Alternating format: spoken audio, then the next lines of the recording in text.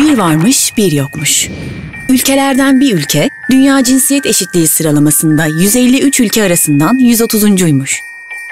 Birileri bu durumu değiştirmeye nereden başlaması gerektiğini biliyormuş. Çocuklar ve onların hayattaki ilk kitapları masallar. Bilinen klasik masallar basma kalıp cinsiyet rolleri üzerine kuruluydu. Kadınlar güzel ama çaresiz, erkekler güçlü ve yakışıklı olmak zorundaydı. Eşit olmayan bu hikayeler anne babaların çocuklarını okumak için tek seçeneğiydi. Peki bu adil miydi? Bizce de değildi. Odea Bank sunar. Eşit Masallar. 5 klasik masal Can Yayınları'nın desteğiyle alanının başarılı çocuk kitabı yazarları tarafından cinsiyet eşitliği bakış açısıyla yeniden yorumlandı.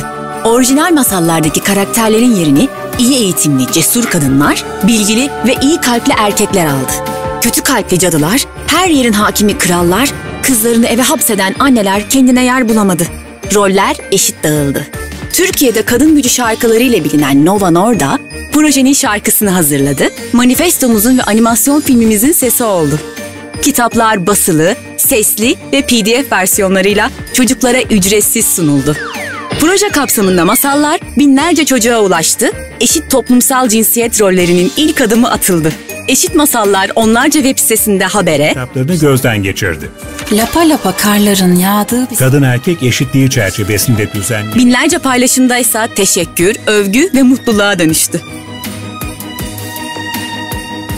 Çocuklarını eşit bir bakış açısıyla yetiştirmek isteyen binlerce anne baba da sonunda onlara okumak için doğru şeyi bulmuştu. Çocuklar belki bugüne değil fakat eşit bir yarına uyanacaktı. Odea Bank